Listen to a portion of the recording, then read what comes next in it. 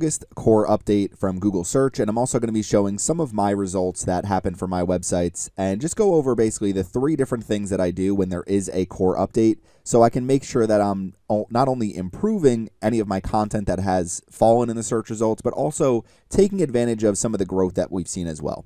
Okay, first things first, I am on the Google Search Status Dashboard specifically for the August 2023 core update. So when you go to the status dashboard, it'll show you exactly when it started and exactly when it ended. So you'll see right here, release the August 2023 core update. The rollout may take up to two weeks to complete. So if we come back over here just to the incidents page, you're going to see status.search.google.com slash summary. If you come here, you can see all of the different updates that Google has released. So going back to the September 2022 core update, you can see more as well. But they'll go over all of the different core updates. And if you click on the link spam update, the helpful content update, the spam update, the product reviews update, they will give you more information about what each update is actually doing. The duration over here is showing how long it took to completely roll out each of the different core updates. So the most recent one was 16 days and 3 hours, started on August 22nd. So when you click on release the August 2023 core update, there's not a whole lot of information outside of release the update, rollout was complete. Now when you click, if we come back over here, this is considered a core update. So a core update is essentially just Google trying to give better search results to anybody who is searching literally any keyword across the Google search engine. So when you see a core update, that basically means Google is trying to give people more helpful content. So the best thing that you can do is make sure that you are creating more helpful content. If you see a drop after a core update, that generally means that you either need to add more information to your content, you need to make sure that the topics that you're, you are covering, you're covering all sorts of different subtopics, linking those pages together, because what may end up happening is one of your pages that was ranking pretty well when Google does a core update, they may say, okay, this website has one or two good pages of content on a specific topic, but that's really all they have. It hasn't been updated recently. So what we're going to do is we are going to view this as not as helpful as these other websites that have kept this content more updated and they also have more pages of content all around this topic. So the best way I can explain this to you is I saw a drop, a few different drops from my website, surfsideppc.com. Actually, this website dropped and Beachfront Decor and Farmhouse Goals saw pretty good increases, which kind of surprised me actually because I've been working pretty decent on this content, but I do have a lot of old pages and things that I need to update and some areas where I've only covered a topic once or twice. So I have the Search Engine Marketing Complete Guide for 2023. This was one of the pages that saw the biggest drops for me. Um, so if we come down here, basically all I did was I, I came into this page, I actually removed, it was about a 3,000 word article, and now it's down to about a 2,300 word article. So I've removed some content from it and tried to structure the content a little better. Now, a few different things. The video here, this video is several years old, so I need to update this video. Even if it's still relevant, it's several years time to update the videos, time to update any images that you have. So a lot of the images I was using, even though they were very similar and completely relevant to the article, were from several years ago as well. So I've updated this article a few times over the last couple years, just updating the written content on it, but I've never actually updated some of the visuals. So I went through, updated a ton of the visuals on this page. So all of these visuals that you're seeing are completely brand new. And what I tried to do is just give the information and structure it a little bit easier for people to completely understand. So making sure that I'm linking out to tutorials that will be helpful. Up at the very top here, you can see I have my search engine marketing video up at the top here. So again, trying to give as much information about doing a complete guide for search engine marketing and making it easy to follow and understand. Now, a couple different things that I plan on doing. First is you need to update any of your content that you saw that dropped. It also wouldn't hurt if you saw content increase to just go in there and update that content as well. When I say update content, it means anything that is out of date whatsoever. So if you have any information from 2022, 2021, obviously we're in 2023 right now, so you need to go back and update all of that information. What I've done is I've taken some of my more recent videos and made sure I linked those recent videos here. And then what I've also done is try to increase some of my internal links as well. So internal linking to this page and then internal links within this page to make sure that that make sure that things are kind of connected a little bit better on my website. So a few different things that I'm going to continue to try, but I updated all of these different images here kind of structure the content a little bit better. And then at the very bottom, I have my search engine marketing YouTube playlist. And if you see here, I've basically created one total video about search engine marketing since I've started my channel. So, coming up with a series of search engine marketing videos is on my list of things to do, and making sure that I take that series and turn them into helpful blog posts that are also interlinked and make sure that people understand search engine marketing tips, search what is search engine marketing, how does search engine marketing work, search engine marketing best practices. So just doing some keyword research for search engine marketing to make sure that I am covering this topic completely. The other thing I did recently is I added this big banner to my website and I actually updated my homepage. So I think I'm going to remove this banner for now and see if just creating a better overall user experience will also help with my helpful content. At the very top of this article, I also plan to add a table of contents and then I think I'm going to move this newsletter down on my blog post because I have this at the very top of every single blog post. So maybe putting this about halfway down the blog post. So probably will end up helping me with subscribers anyway. So that's a couple of the different ways that I try to react to this. Now, what I'll also do is come over to the Google Search Console. And again, what we're going to do is look at the dates of the core update. So if we come back over here, release the August 2023 core update. What I generally do is I'll take one day after the core update. So we'll do August 23rd and then one day before it actually completed. So we'll go to September 6th. So generally what I'll do is I'll take one day after the core update was actually released because if it's released on this day, I figure not that much is going to happen on the very, very first day it's it's released. So starting from August 23rd, and then we'll just go, we can go all the way up to whatever data that we have. So I'll go to, I think I have up to September 8th right now. So we'll go August 23rd to September 8th. And that should give us a pretty good idea if we compare that data to the previous period about what increased and what dropped. And here's another thing that I'll do. So coming back over here, going to our Google Search Console data. So I'm looking at beachfront decor right now. I've already pulled up some of the pages and I'll show them to you in a minute uh, that I saw increases on and that I saw drops on. So come over here. Let's go to filter first and foremost, go to custom, and we'll start from August 23rd, and then going to the end date over here, and we'll go, okay, so we have up to September 9th, it looks like. So we'll go all the way to September 9th. It doesn't hurt to have some extra data. So this is basically the data during that time period, but this doesn't tell us anything. So we're going to come right back over here. When you click on compare, it's automatically going to pull in that previous period. So from August 5th to August 22nd, same number of days as August 23rd to September 9th. So it should give us a pretty good idea of what increased, what decreased, and some of the different things that we should look to not only improve, and some of the different statistics we should look at. So right now I'm in Google Search Console. We are looking at the same exact periods of data before and after the core update. So you'll see my impressions have increased pretty drastically. My clicks have gone up. Average click through rate actually dropped slightly, and my average position actually dropped slightly. So, not too worried about either of those. Uh, if we scroll down here, the very first thing I look at is my search queries and what has increased and decreased. So you can look at clicks differences, so some increases in clicks. So obviously look at, I try to look for specific categories of what increased. So you'll see beach theme bathroom, beach theme bathroom ideas, Tommy Bahama beach chair, Margaritaville Adirondack chair, land shark chairs. So a few different things that have increased, um, nautical quilts. Now we keep scrolling down here. Okay, and I try to look for things that aren't overly seasonal either. So there's a few different things for beach chairs here, but coastal entertainment center, tropical bedding, wicker chairs, really not too much to get from some of these click increases and some of the differences that we're seeing. Now, kind of a sad thing, but the Margaritaville increases may unfortunately be due to the fact that Jimmy Buffett passed away recently, and there may be more people just in general searching for Margaritaville related products. So that might be what I attribute that to. Um, the other thing that we'll look at are click drops. So I actually don't see a, a ton of click drops here. Uh, so since I saw some increases, there's not a ton to look at. For this, it was pretty clear for Surfside PPC, a few of the different pages that dropped for me. If you're looking for a little more information about drops on Surfside PPC, I do go over it in more detail on my membership section. So my membership section gets more information about my Surfside PPC blog. So if we're looking at some of these different clicks here, the main thing that I saw when I looked at some of the clicks and the impression differences is I saw some drops related. Now, if you see zeros here, that means that the altogether it's probably not pulling in that data properly. So you'll see I do have plenty of impressions still. Not really a huge drop here. So if you are seeing zeros, unfortunately, sometimes that's just a problem with Google Search Console is when you're looking at impression differences. So we'll get rid of our clicks real quick. We'll just look at impressions.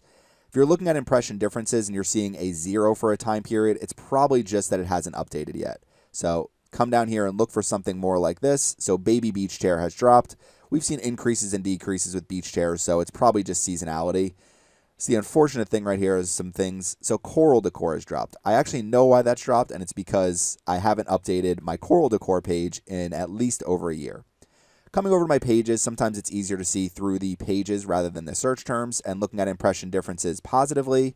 So cork bottles, beach themed bathrooms, copper farmhouse sink. So that's oh, see, we got the zero. So look for the zeros because that means your data is just not correct. If you're seeing these in impression increases and decreases, unless you had something that just completely wasn't indexed beforehand. So tropical bedding sets, Tommy Bahama bedding sets. So we're seeing some increases across the board for bedding, wall de wall decor, wall decals. Let's see what has dropped. Okay, so coastal wall art has dropped. Umbrella beach chairs. Okay, again, we got the zeros here. So this is this is the problem with looking at Google Search Console data sometime. Um, but if you're seeing the zeros, I wouldn't worry too much about that. So this was one of the pages that dropped Tiki Bar ideas and decor. So if we come over to the page, the the first thing that I look at is okay, what what about this page looks like something I should absolutely improve? What's probably happened is some of these links, some of these products probably are not active anymore, so they're going to pages that might be a 404 page, and obviously we don't want that. Coming down, looking at, we have some different designs here. These images are probably old from the last time I updated them. So this might be something where it's like, okay, let's try to find some new Tiki Bar pictures. But overall, I mean, this page isn't terrible for somebody who's trying to build their own Tiki Bar. We have some ideas here. We have some products for sale. Maybe trying to give better products overall might be helpful. Um, and making sure all these links are still live. Another page that dropped for me was 101 beach themed bedroom ideas. So to me, the biggest reason this probably dropped is because I actually wrote this blog post several years ago, and it has just maintained its rankings and clicks. So I haven't done a ton to change it. Uh, but maybe writing a sentence or two about each individual design, what I like about it, saying, you know, beautiful paint colors and the mirror, the bench in front, blah, blah, blah, whatever. So doing some of those things will be helpful, especially because we have, I think I have 101 ideas here. So coming to the bottom, we have a few more images. So maybe adding some more some more content at the bottom, some more images at the bottom that might be helpful, linking out and linking in from other pages. So again, when we're looking at what we should do during a core update, look at first and foremost, go to your Google Search Console data. Obviously, these zeros are kind of frustrating, but look for impression differences and make sure you are actually seeing data for both of these. Now, if you're seeing an impression difference like this, and just click on the actual link itself and you'll see the information a little bit better. So this is actually showing we saw an increase in impressions, but a decrease in clicks. So average position improved, but our average click-through rate dropped. We only had four clicks during this time period, so not overly popular, but you'll see the solid line is the new line. So seeing this means it's a good, we've seen basically a double in impressions.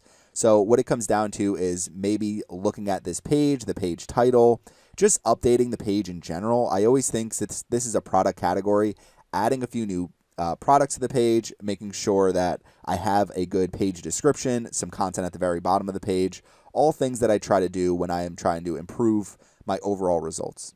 So that's first and foremost. Look for increases or decreases in impressions. I would obviously focus on the decreases first because that means Google's saying not that your content isn't helpful, but that there's other content that is more helpful than this after they redid their core update. So if we come over here real quick and we look at farmhouse goals. So if we pull up farmhouse goals, we'll have the same compare dates that pull up automatically. You'll see I saw a really good increase in farmhouse goals. So if we just look at the compare data, we'll look at clicks and impressions. So you'll see the solid line you'll see is the increase. So we went from about 10,000 daily impressions to about 20,000 daily impressions, 75 clicks to about 150 plus clicks. So we saw almost a doubling for a lot of this information. And I should see this continue to increase if I keep working on some of these pages. But again, what I look for first is clicks differences positively and negatively. If I see things positive, so this is showing farmhouse bedding positive, farmhouse quilts, that shows to me, okay, some of the work that I've done on those pages has helped me actually increase the clicks to those pages. Now, what I also look for is if I'm seeing these increases, then it's like, okay, what other categories can I add to my website related to farmhouse bedding? These are very, very popular keywords. So if I can add more products to these pages, add more subcategories to these pages, if I can make sure every single page has a really good product category description on it, maybe some content at the bottom of the page, so, for example, for farmhouse quilts, at the very bottom of the page, I'll just do some simple what are farmhouse quilts? What are five popular farmhouse quilt styles? Why should someone get farmhouse quilts? Those simple things when Google sees my product category page and they see that content there versus that content not there, it's more helpful to see what are they, why you should get them, different styles, different sizes, anything that people are actively searching in Google, add a little bit of that information to product category pages, add a little bit of that information to some of your blog posts. So coming back into my tiki bar ideas for beachfront decor, I need to just kind of come through here, look through all these links, make sure that the links are still active. And then at the very bottom, update some of these images here that I have, the tiki bar designs, maybe put a total of 20 designs, find 10 new ones, keep 10 of the nice existing ones, and then add some internal links, external links, things like that. So basically, just kind of getting back to our SEO best practices, not only trying to improve the existing content on the pages, but also trying to make sure that we are using internal linking and external linking and making sure that our product title or page titles and meta descriptions and all these basic things are just optimized as best as they possibly can be for the keywords that we're targeting. Now, the other thing you can do is if we click on individual pages here, so we saw some growth with this farmhouse quilts page. Looking at the search terms for specific pages can also be very helpful because if you're seeing, okay, we're seeing some good clicks differences from specific keywords and some click drops from specific keywords, it may mean, okay, country quilt sets, rustic country quilts, vintage farmhouse quilts. Maybe what we can do instead is try to create separate product categories for some of these pages and target these keywords a little bit better now.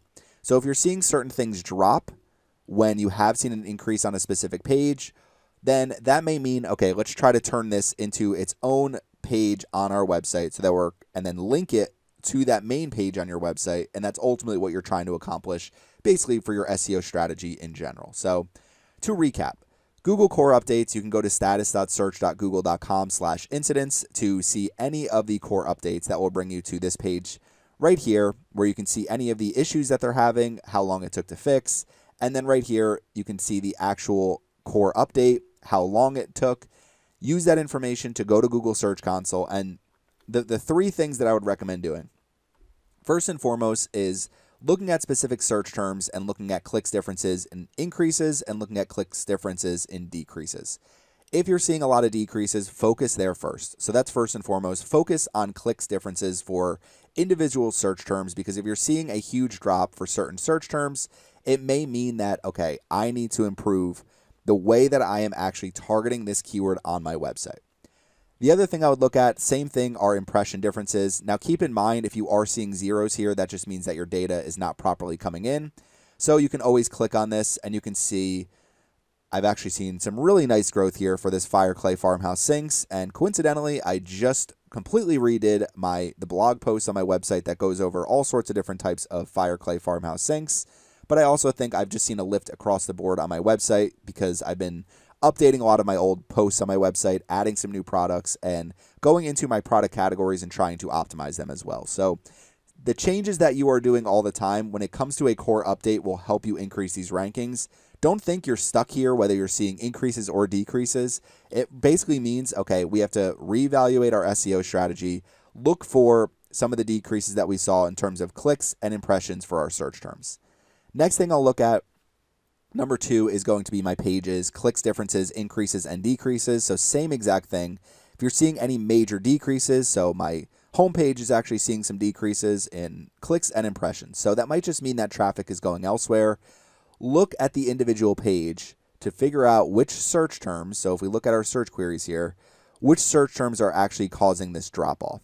So the thing that it may be sometimes is you have a keyword like farmhouse decor that was getting impressions for this page and now it's getting impressions on another page. So it doesn't mean you necessarily saw a drop for a specific keyword. It's just that that keyword is now going to a separate page. So a lot of things to look at in Google Search Console, but trying to find those pages and search terms. That's the first two things I do pages and search terms that had increases and decreases. I look at impressions a lot uh, if I'm seeing impression differences. Uh, so let's get rid of clicks here. I like to look at impressions a lot because if you're seeing some of these negative impressions, so farmhouse chandeliers, farmhouse lighting, those are the top two that saw impression drops. That means it's time to go to all of my farmhouse lighting product categories, all of my farmhouse lighting blog posts, and update everything. Make sure I am covering every single subtopic effectively. Make sure that I have updated products on all of these product category pages. And then again, going into those product category pages and and this is basically part three. So, First two things identify search terms, identify pages that have saw increases or drops.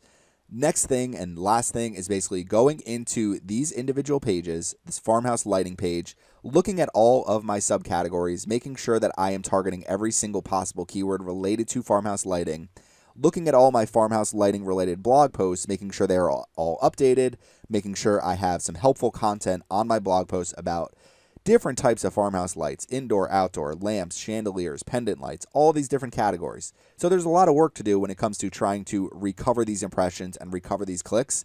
But what you're going to find is if you're seeing these drop offs during a core update, it means at one point Google said, okay, this is this is helpful content. We're ranking this content pretty high. You see your average position, for example. Let's see our average position for these pages. So you'll see our average position it's actually improved slightly for both of these, but what it may be is that certain search terms, so again, coming into our page, looking at specific search queries for this page and looking at the impression drop. So if you're seeing this for something like farmhouse chandelier, modern farmhouse chandelier, first things first, do I have a page on my website for modern farmhouse chandeliers? Then what you're doing, so farmhouse kitchen chandeliers. I don't think I have a page on my website for that, so maybe that's something I add a few different subcategories under chandeliers. It's such a popular keyword and it's such a profitable keyword that it makes sense to target this keyword a little bit better. So step three basically is this, and I'm just going to use my example for beachfront decor. Is first and foremost is looking at your existing content and seeing how well you think you're actually how well you're actually targeting that specific keyword for this content. Second thing, second, is just going into your blog post, checking for any technical issues. So, any types of issues as far as page speed, any type of issues as far as broken links. And then the other thing I would look at when you're looking for broken links is what type of internal links do we have on this page and what type of internal or external links we have on this page that are actually going to be helpful for whoever is searching for our targeted keywords. Now, the other thing that you want to do is all of the written content on your page, all of the images on your page. So if we come all the way to the bottom here, making sure that you're using really updated images and keeping things as relevant as possible. Because if I uploaded these images in 2020, it's currently 2023, what Google might say is, okay, this article really hasn't been overly updated in several years. Other people are targeting the same exact keywords. They're doing it more effectively. They're doing it more recently. So what we're going to do is we're going to drop this page a little bit until they can actually update it and make it a little bit more relevant. Last but not least, your written content here.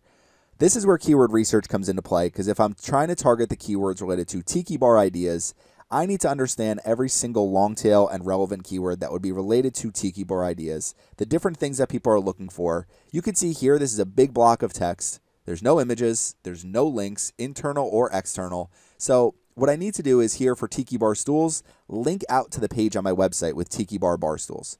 To Tiki Bar Signs, link out to a page on my website with Tiki Bar Signs. I actually have a page on my website for standing coolers, so maybe putting the, my six favorite standing coolers and linking them here as well.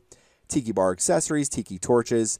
So basically, I can get this page to rank higher by adding all these as product categories, potentially adding more blog posts related to what to look for when you're trying to find tiki bar stools, what to look for when you're looking for tiki bar signs, creating a standing coolers blog post, and linking out to all those blog posts from this page.